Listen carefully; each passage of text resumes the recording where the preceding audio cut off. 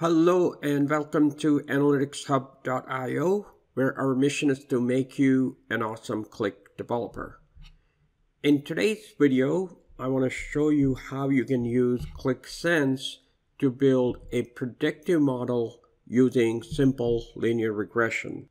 And I have written an article on Analytics Vidhya, which is one of the popular data science blogs in India so I highly encourage you to read the article since the article shows step by step how you can create a predictive model using simple linear regression in Qlik Sense. It starts with the concept of linear regression. At the basic, linear regression has this equation y equal mx plus b, where y is your dependent variable, x is your independent variable, m is the slope, and B is the y-intercept. And for linear regression modeling, you have to make sure the data is fit for the analysis, and you do so by evaluating coefficient of determination and coefficient of correlation. And fortunately, Qlik Sense provides built-in functions. So after the introduction of linear regression, I discussed the dataset that's been used and in this case, I stumbled upon an interesting article that discussed relationship between teen pregnancy and poverty rate in America. And I thought that was quite interesting. So I searched for data and I found this data set on University of Pennsylvania's statistical course. So I downloaded that in text format and that's what I have here loaded into my Qlik Sense app. And if you read the article, it then shows step by step how you can create a linear model for predictive modeling in Qlik Sense. And in the end, I also created similar model in Python using scikit and then compared the results between the Qlik Sense predictive model and the one that I created in Python. So that way you can assure that my Qlik Sense predictor model is as accurate as widely used Python scikit linear regression model.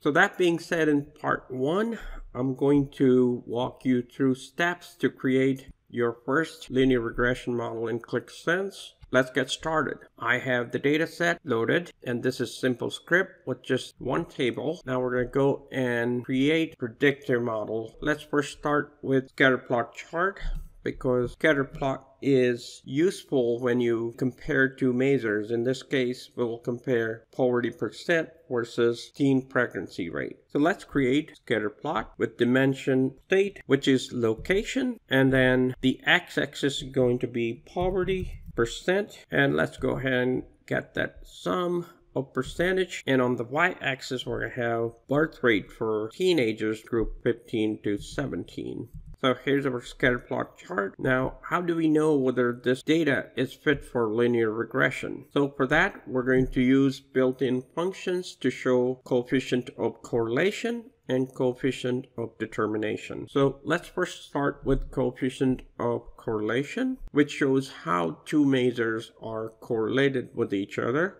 In this case, it's the poverty rate versus pregnancy in teenage group 15 to 17. So I'm going to use a text and image and this simply will a built-in function which is correlation and here you show the y-axis comma x-axis. So in this case it's going to be birth 15 to 17 comma poverty percent and hit apply so that number is showing 0.73 let's format this by aligning it to the center and add text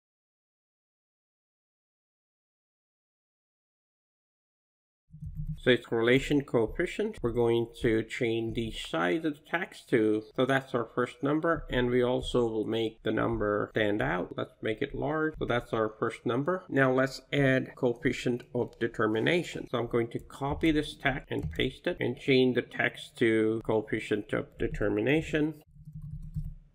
And of course the expression will change line r2 square because that is what the coefficient of determination is. Let's apply and here that number is 0.533. Now we're going to add the expression for simple linear regression is going to be y equal mx plus b. So let's add a KPI Go ahead and add KPI here.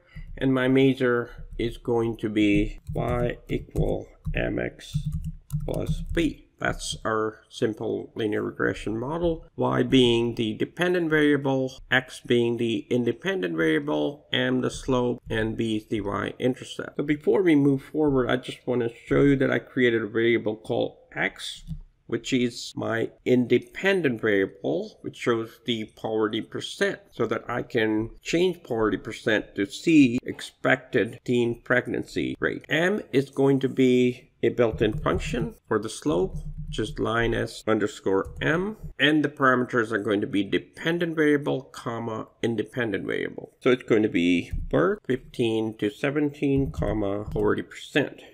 So that's m multiplied by x, which is the variable that I've created for independent variable for the poverty, plus line estimate underscore b, which is Qlik Sense built-in function for the y-intercept. And again, the parameters are going to be dependent variable, comma, independent variable. So this is the formula for simple linear regression. Simply put, I have slope multiplied by independent variable plus y-intercept. And let's add a user-friendly label here. So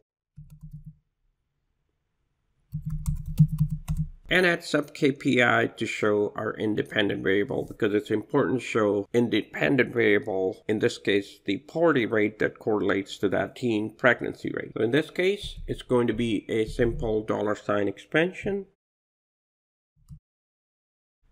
And in this case, our variable value is 26. If you actually see the variable definition and the value, it is 26. All right, another thing we want to do is to add a slider so that we can change the poverty percent. So I'm going to go into custom objects and from the dashboard bundle, we're going to get a variable input at the top and let's change some of the settings. So the value is going to be variable X and it's going to be a slider and the values are going to be 0 to 100 with step of 1. And we also would like to show the label. In this case, it's 26%. So that's for the independent variable, which is poverty rate percent. All right, and let's add a table that we can look at the data if we need to for validation. So we're gonna go ahead and add a table. So we're gonna add location, then add a measure for the birth rate and another measure for poverty percent.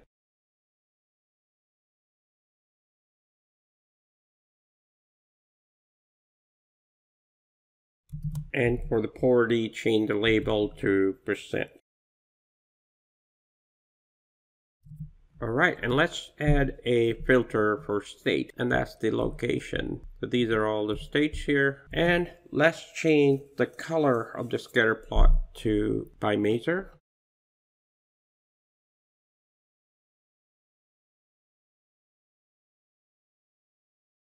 And we do not want to show the legend, so we're going to turn that off. And also, we will change the label of x-axis and the y-axis.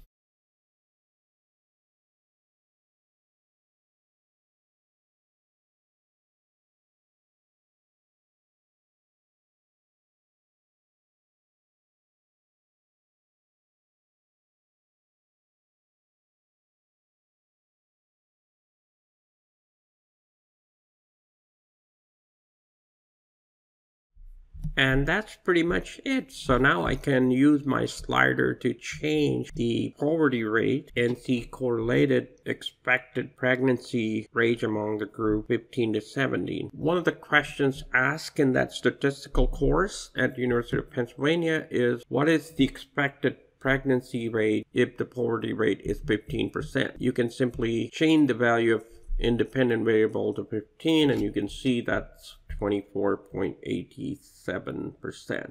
Another great thing about Qlik Sense is that because of its associative model, you can select set of states and predict a teen age pregnancy rate for those states. So for instance, I can do a lasso search for the states and see that for this stage, the expected pregnancy rate would be 18.49%. In the next video, I'm going to show you how you can create the same model in Python and then we'll compare the output between the model that we have created in Qlik Sense and Python. So stay tuned. Also, if you like what you're seeing, we advise you to join our academy because we have ton of content and we keep adding content every month with the intent to make you a rockstar Qlik developer. So please join us. And for that, thank you very much and we'll see you in the next video.